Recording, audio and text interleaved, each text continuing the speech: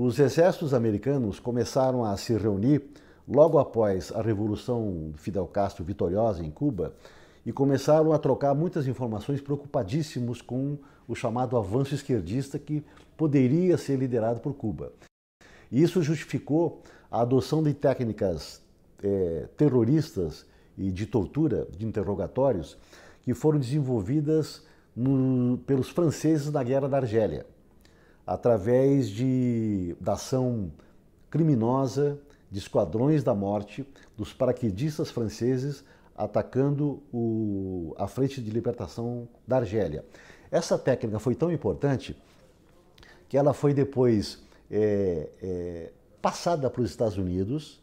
Os, os mentores de, desses métodos é, de tortura passaram a, a, administrar, a repassar essa técnica, essas aulas.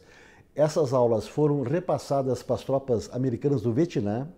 De lá elas voltaram para os Estados Unidos, quando começou a crescer a agitação de esquerda no continente sul-americano e acabaram se abrigando na Escola das Américas no Canal do Panamá, que é a central onde foram treinados 60 mil oficiais de todos os exércitos latino-americanos que são é, o embrião de todas as ditaduras que depois se nivelaram no mesmo fundo do poço do, do ponto de vista institucional.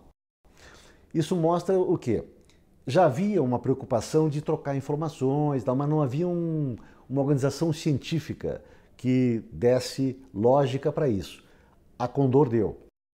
A Condor foi fundada em novembro de 75 em Santiago do Chile, mas na verdade ela era apenas a formalização de uma prática que já existia, de colaboração entre as ditaduras. Os regimes eram todos iguais, eram regimes é, ditatoriais, de generais profundamente anticomunistas, unidos pela obsessão de combater o comunismo e, portanto, sem nenhum tipo de respeito pela democracia que eles todos eles derrubaram, presidentes eleitos democraticamente, sob a desculpa, sob o pretexto de que eram governos contaminados pela subversão comunista, marxista, eles tomaram o poder e começaram a aplicar em seus regimes a doutrina da segurança nacional, que nada mais era do que a confirmação da insegurança individual de todo mundo.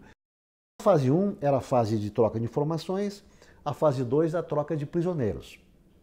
E o Brasil entrou nisso, entrou pesado, trocou prisioneiros, prendeu gente aqui, entregou na fronteira por baixo do pano. Quer dizer, não havia pedido à justiça, porque a justiça naquele tempo era amordaçada, era intimidada, os juízes eram caçados, eram, eram, é, é, eram prisioneiros do estado de arbítrio. Não havia lei, na verdade, né? havia apenas a lei da força e dos países é, da ditadura.